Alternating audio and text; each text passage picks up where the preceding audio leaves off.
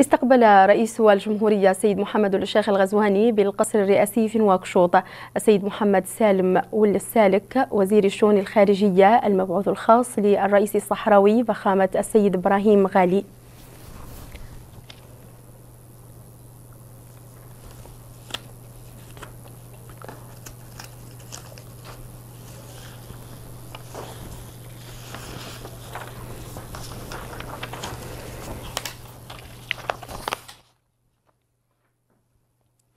وبعد اللقاء أدلى الوزير الصحراوي لوسائل الإعلام الرسمية بتصريح قال فيه إنه سلم رسالة من الرئيس الصحراوي تتعلق بالعلاقات الثنائية وآخر التطورات التي تعرفها القضية الصحراوية.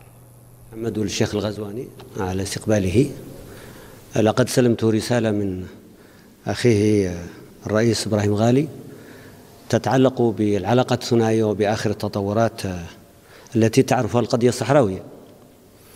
الجمهورية الصحراوية تعتقد أن الجمهورية الإسلامية الموريتانية لها دور في السلام والاستقرار في المنطقة.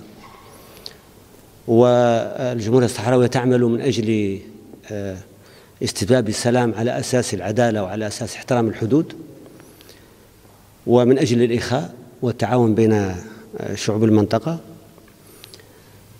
الجمهورية الصحراوية والجمهورية الإسلامية بلدان يقطنهما شعب واحد.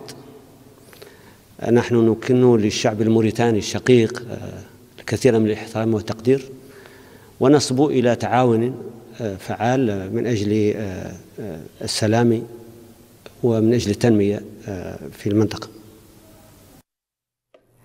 صدق مجلس